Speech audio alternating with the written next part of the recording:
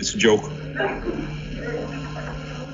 I'm. I, it's not. I, I think it's totally unfair. It's not just for us. If you look at Romania, they play uh, the 14th at about uh, 8:30 in the evening, and the next day at four, uh, 4 o'clock in the afternoon. Uh, it's it's not a fair schedule. I think. We thought we had to play tomorrow against Holland, and all of a sudden everything is different, and and uh, we have to play a schedule with another three days rest, and we start again Hungary, and then we have three matches in four days. And if we qualify for the semi-finals, we have one day rest and, and then uh, another game. Uh, so that would be four four games in six uh, days. I think for a European Championship, it should be more fair.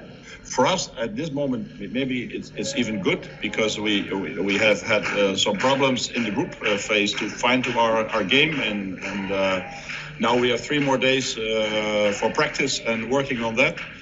So maybe it will help us for the game against Hungary. But then again, we have uh, two days in a row we play against Holland and Croatia.